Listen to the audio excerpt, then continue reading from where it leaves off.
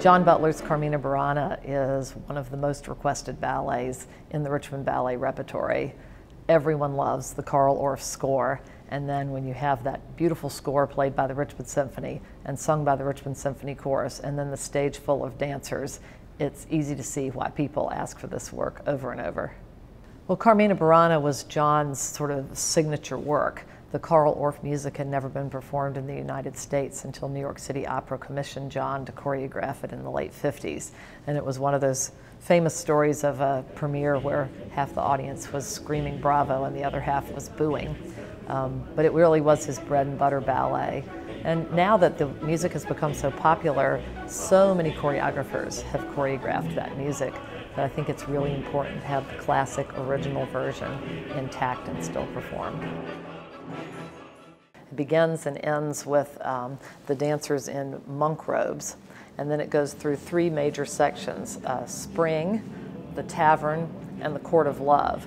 And it's all about the wheel of fate and the wheel of fortune and how man is, is taken along the wheel and just has to go for that ride.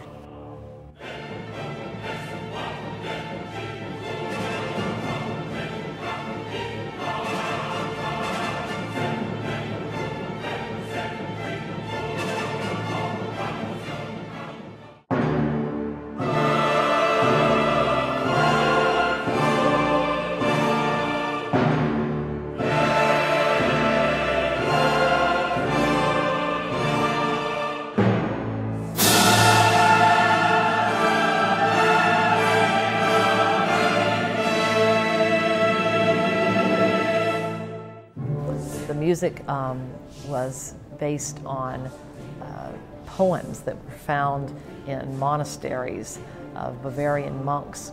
And they're not uh, probably things that the Pope would have approved of. they uh, told of uh, the secret desires of these celibate monks. John Butler came to Richmond Ballet at in the late 1980s, and he did Carmina Burana and After Eden, two works that have been very successful for us, and uh, we became close friends. And I promised him that we would help keep his work alive, which is no chore. It's just a pleasure to be able to continue to perform it.